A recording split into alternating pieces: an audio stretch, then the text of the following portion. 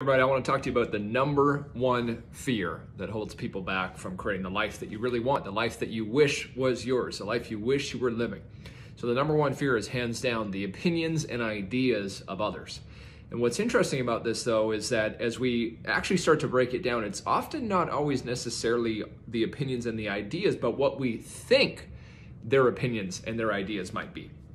So you want to get your business going, you want to get your life going, you have dreams you want to make happen, but then you have this fear or this reservation. Sometimes it shows up as procrastination, sometimes it shows up as being a perfectionist, sometimes it shows up as ideas like I don't know enough or I don't know what to do or I don't know what the next step is and all these lies that our mind tells us to get us to not act out of the fear of what others may think, possibly think.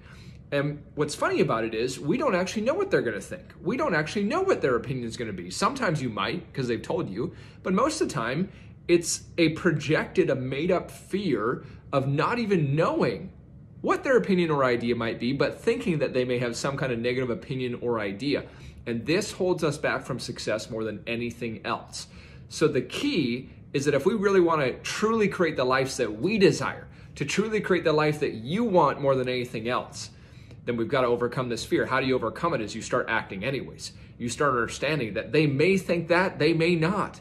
But whatever they think is up to them. You can't control their opinion. You can't control what they think. You can't control what they believe to be true or their ideas. All you have control over is you. And that's all you need control over. It's their life to live, and it's your life to live.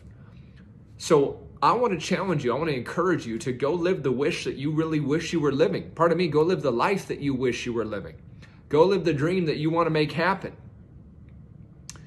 If you have a chance, take it. Go and do it. Take the next step. Go and do something with this because this opportunity of life that you have, that I have, that we've been given, one day isn't going to be there. And we won't have this lifetime anymore.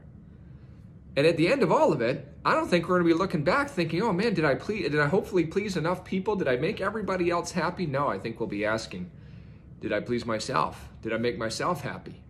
Was I truly satisfied with the life that I gave? Was I truly satisfied with the efforts that I put forward so that I could become who I wanted to be?" So this one fear that holds us back, it's an illusion because we don't even know if it's real, but it feels real to us. And the way to overcome it is realize that it really doesn't matter. What's more important, the life you really want, the life you dream of, or the potential opinion or idea of somebody else? It's great to be with you guys. Keep this in mind as you're progressing through the journey of life and the journey of your dreams.